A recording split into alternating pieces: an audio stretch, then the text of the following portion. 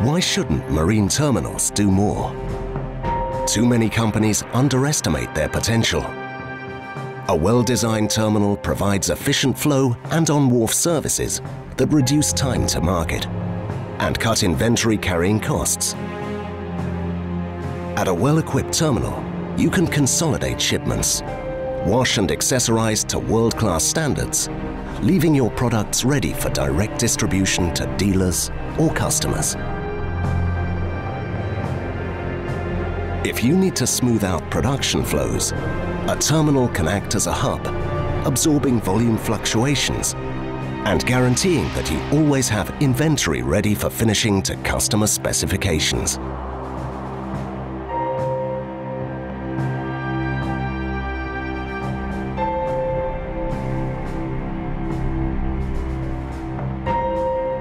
Are you making marine terminals work for you?